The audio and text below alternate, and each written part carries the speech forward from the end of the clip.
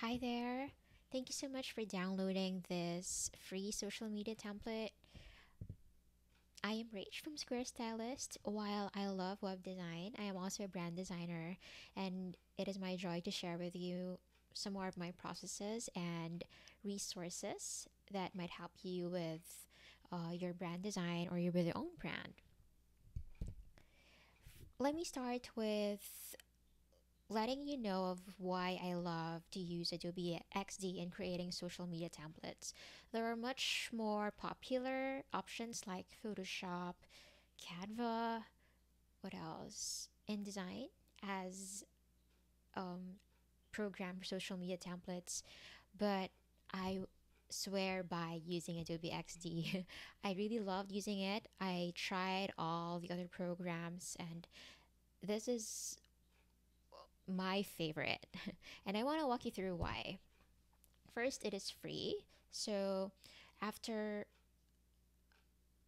uh, me and my client finalize the brand design, I am able to hand over this uh, this document, and I can ask them to download the software for free because Adobe XD is free.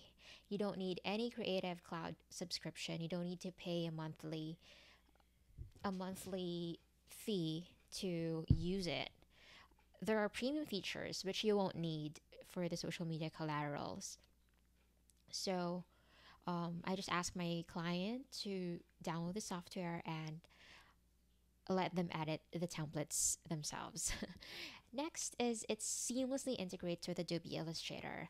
Later, I'll, I'll show you how I can easily change the colors of my logo, of my graphics from Adobe Illustrator to Adobe XD. So um, as long as they are vectors, I can easily edit their colors, even their sizes, without um, thinking about pixelation. Next is I can use my desktop fonts. Um, I think for Canva, you would need to subscribe to their premium premium plan just to upload your own, own fonts. With Adobe XD, it works like Adobe Photoshop or so, wherein you can just use whatever is on your desktop or whatever is installed on your desktop. So what I do is what I do is I just um, send the font files as well to my clients. I usually just use fonts from Google Fonts and I ask them to install it on their computer just so they won't have any issue with editing the templates. And the last thing is, as I've mentioned, it is very easy to use and edit. Upon download, you'll receive this Adobe XD file. So the first step is to download Adobe XD if you don't have it yet. And then the next step is to install the font.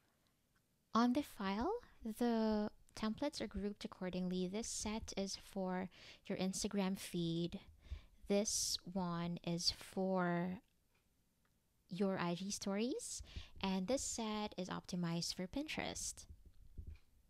Now, um, I'd like to demonstrate how we can change the photos. Um, the template comes with placeholder photos which are watermarked, so please don't use them unless you license them via Stocksy, which is my favorite stock uh, photo um, site.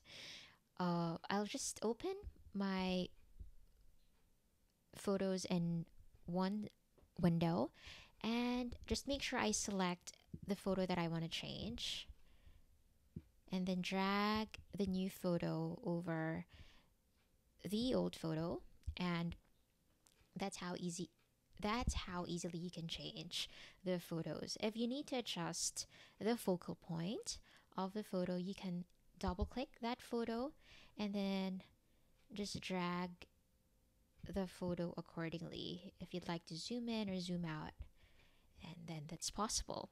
You may also resize the photo by clicking on it and grabbing one anchor point.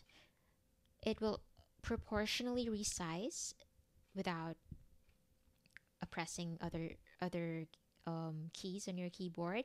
So just grab any of the anchor points and resize accordingly. Let me just demonstrate that um, in another template. So for example, I want to change this again, just click on it and then drag any photo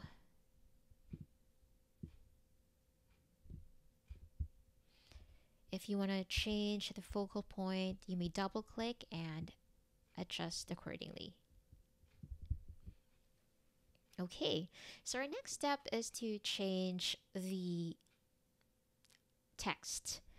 So this template comes with uh, my recommended fonts, but if you'd like to change the font, you can just click on it and then this pane will show all the text options, including the font. So in this case, you can change the font. I'll choose Ivy Journal for now. Um, it will pull the fonts that are installed in your computer. Next is um, while that text is selected, you can double click and change the content here. Okay. Another thing to note is that we have two types of text formats. So if I click on any of our texts, we'll have two options. One is point text, this option, and then the other one is area text. So let me just explain point text first, which is, I think, unique for Adobe XD. With the point text, you have a single point which you can use to resize or rotate the text element. So in this case, I just drag this point down and you'll see that it automatically resizes my text block. I'll just drag it up and it reduces the size of the text block. You can also use this to rotate this text element or rotate it back.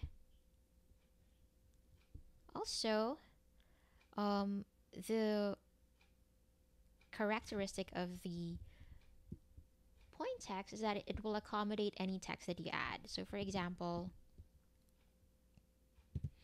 if I add here um, and just random text or press enter, it will show all the elements that you type. But in the, in the case of, of our area text, if, if I click on this area, only the texts that are within the area will show up. So for example, if I if I de define the area to be this small only, then all of the succeeding texts won't show up. So if I if I further reduce the area to be up to collaboration only, then the succeeding texts won't show up. The only way to change the the size of the font right here is by changing the text size using our text pane. And you can also easily just switch to point text if you're satisfied with the text and then just enlarge it accordingly by dragging and dropping that single point. So let me just collaboration. So I'm point text again, so I, I do have that single point which I can use to resize the text.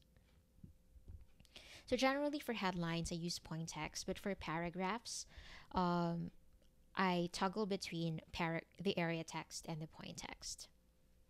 Okay, um, another thing to note is that we have options here for um, the transformation of or capitalization of capitalization of your text.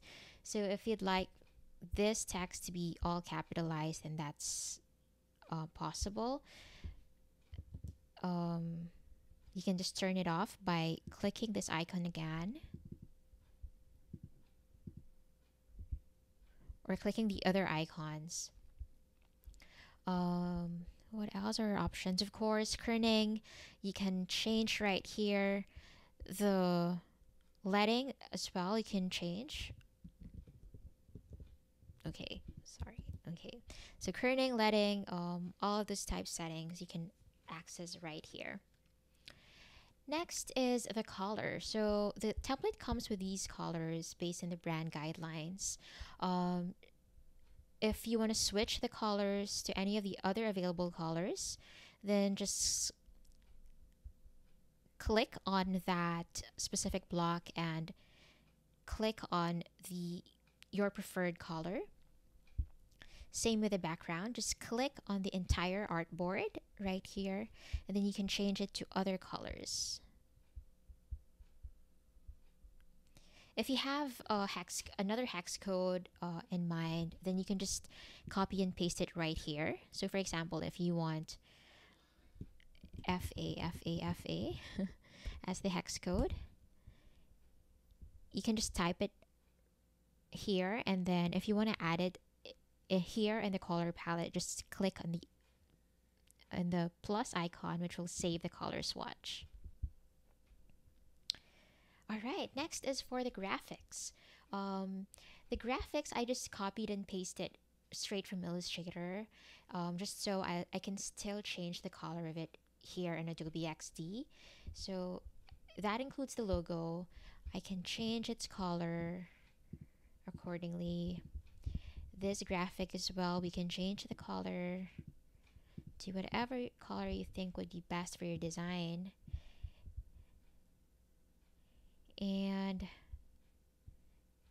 yes, that's it. Um, the lines are also editable. You can just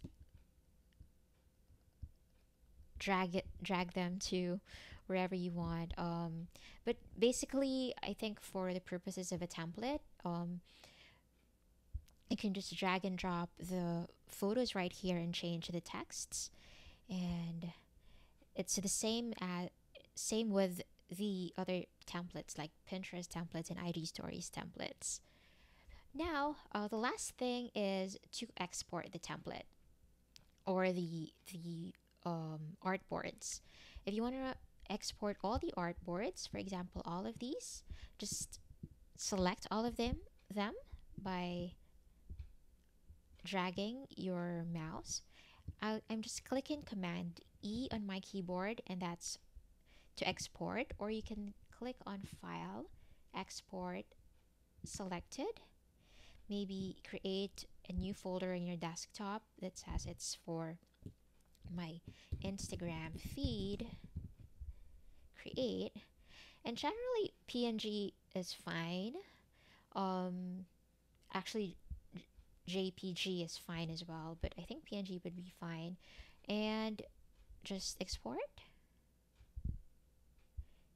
Desktop, let me see. So you have all of these. Um, you can rename them accordingly here. So I just double click, right now it's custom 10, custom 11, but you can double click here to change the file name. And then there you go, you'll have all, you can drag this to Planoly for your planning or just um, share it via airdrop to your mobile phone and upload to Instagram. Same with the other templates. I hope this is helpful for you. If you have uh, questions about Adobe XD, I'd love to answer them because I am preparing some more resources for Adobe XD and, of course, for Squarespace.